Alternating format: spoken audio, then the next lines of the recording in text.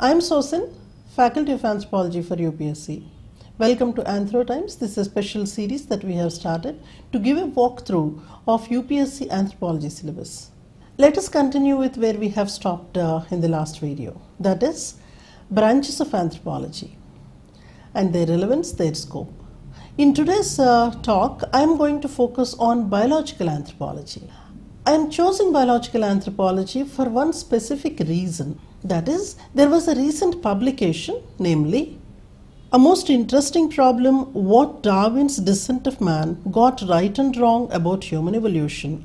This was edited by Jeremy De Silva.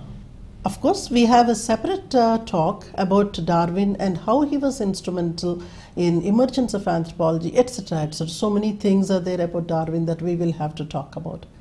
But here I am restricting myself to the scope and what exactly we have to do in biological anthropology as a topic in UPSC. Now, when it comes to Darwin, he was instrumental in the earliest times. He inspired several scholars to bring the biological concepts to sociological world. Uh, to put it in simple words, uh, in the initial times, two major things were studied in biological anthropology. One was considering human as a biocultural organism, meaning a combination of biological and cultural factors, how they have made man what he is.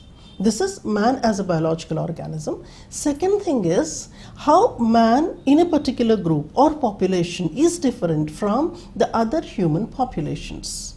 So, putting these two things together, the two things we studied one is organic evolution. See, once again, you are getting another new word, but let me explain that word here for especially the students coming from non-life sciences background.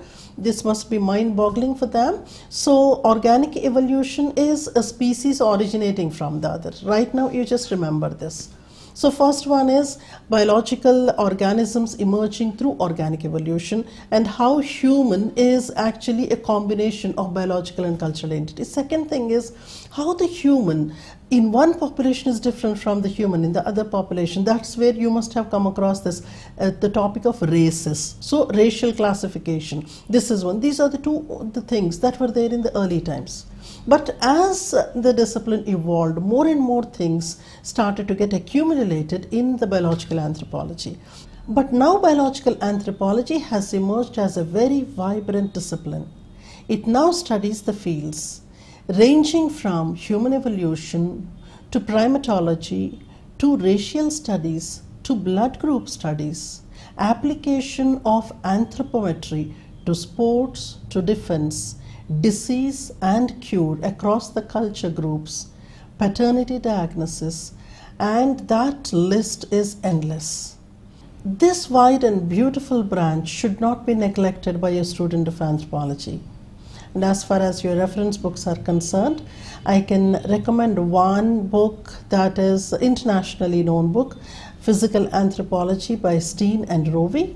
And as far as Indian reference is concerned, a very simple book of anthropology, physical anthropology by B.M. Das can be studied. Very shortly, I will join you with another interesting video uh, giving you a journey through UPSC anthropology.